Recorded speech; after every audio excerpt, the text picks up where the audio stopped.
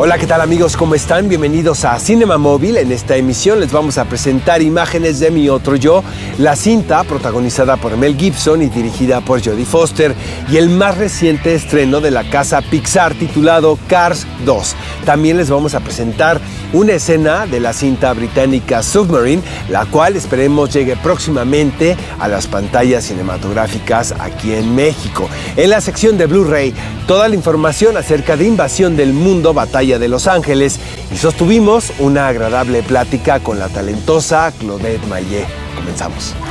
Discovery of the self. Who am I? I find that the only way to get through life is to picture myself in an entirely disconnected reality. I often imagine how people would react to my death.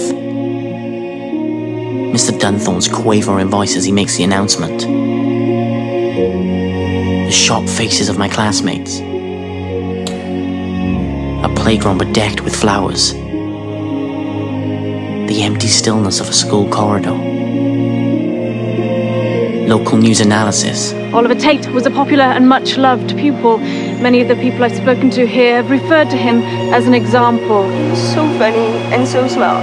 He's gonna be really messed. He's, he's so bad. He's so young. Tia Street tributes. You just see him and you know this big smile on his face. I just wanted to hug him every time you saw him. But I just wish I had. I just wish I could have said goodbye. I never said it.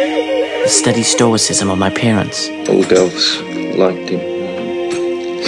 Other boys respected him, looked up to him, I guess. Candlelit vigils. We are witnessing incredible, unprecedented scenes of quiet devotion. Behind me, a vigil It's been repeated all over the country, a testimony to the love felt for Oliver Tate and the loss felt by his friends and, frankly, by Wales on the whole. And finally, my glorious resurrection.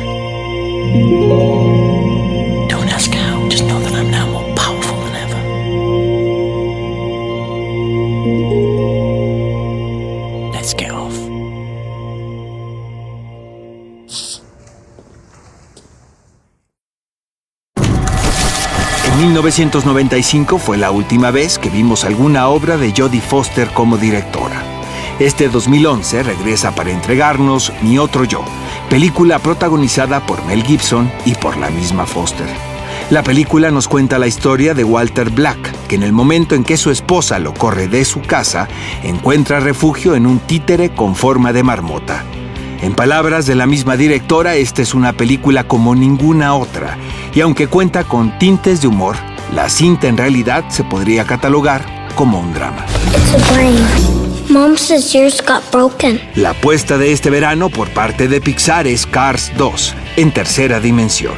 Para esta segunda parte repite como director la cabeza del estudio de animación más importante en los últimos años, John Lasseter. McQueen y compañía se reúnen una vez más para pisar las pistas de carreras y encantar tanto a chicos y grandes con sus nuevas aventuras. Am I missing something?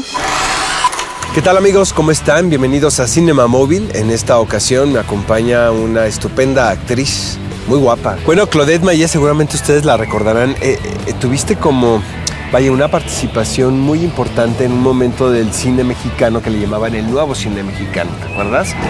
Sí. Dirigido por Ignacio Durán Loera, que en ese momento era el director del IMCINE. Ajá. Participaste en Como Agua para Chocolate Así es. y en Novia que te vea. Sí. Y en más, pero esas recuerdo que podrían Digamos, ser las más importantes, ¿no? Sí.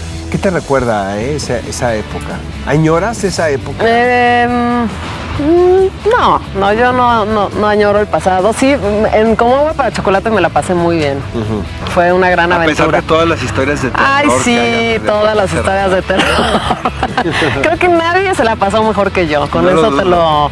Yo como que me, mm, eh, mi personaje me influenció mucho y entonces este, yo era como un ser muy libre en ese momento y, y nada me importaba y nada opacaba mi felicidad. También participaste en una cinta dirigida por Carlos Volado Sí. que se llamará Tlatelolco. No creo, sí, yo creo que le van a cambiar el título. Fue especial el, el participar en esta película que recrea los acontecimientos del 68. Fue, ¿Tuviste alguna sensación peculiar? Eh, mira, a mí no me tocó tanto estar en, en, todas las escenas del movimiento estudiantil, ¿no? Que es ahí yo creo que donde se sintió más así la vibra de, de lo que pasó en esa época y, y a, a, los jóvenes ahí bien prendidos con todo lo que estaba sucediendo. A mí me tocó eh, puras escenas de hogar, uh -huh.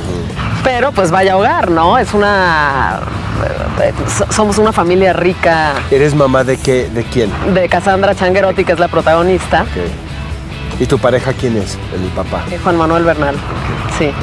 Y, y, y, él trabaja en el gobierno, él trabaja con Echeverría y, la hija se da cuenta de todo lo que su padre hace y, les dice a sus padres, trata de abrirle los ojos a la madre de lo que su padre está haciendo.